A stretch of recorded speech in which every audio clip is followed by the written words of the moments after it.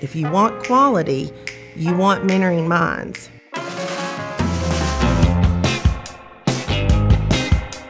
I just feel like the curriculum is custom for us.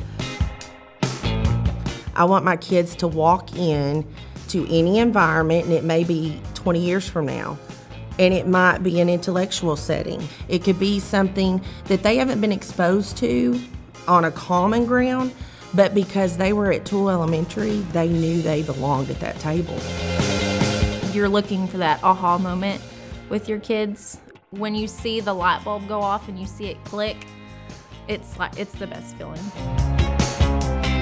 I use ThinkUp because the rigor is more aligned to what I need for my kids.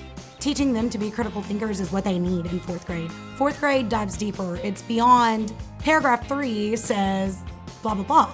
It's, I've got to use the information in the text paired with what I know to make a prediction or have some thoughts beyond what they're telling me. It's not just about the content. Yes, it's important that you understand what a main idea is. Yes, you understand what summarizing is. But these tools that I'm teaching you, you're going to be able to take on not just to middle school, not just to high school, not just to college, but in your career even, and how they are in power of wherever they're going to go. Um, whether that's if they don't want to go to college, if they want to go to technical college, or if they just want to start a job, wherever they're going to do, they're going to have those tools to know that they can become successful whichever path they do decide to take. It's more than just a multiple choice pick A, B, C, or D. You know, it's more diving deeper.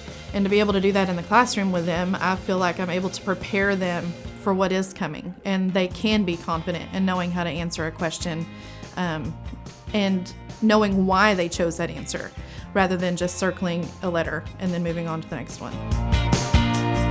We've learned the nine critical thinking traits.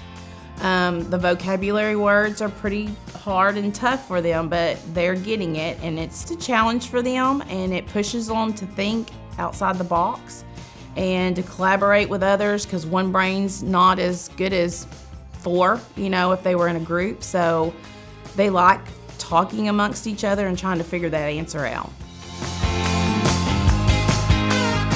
The Think Up books provide us with a lot more in-depth questions and it leads them to higher level thinking and it's more how they're using these skills in real life. And so seeing some of the word problems and stuff, it's more relatable to what they will actually see in the future.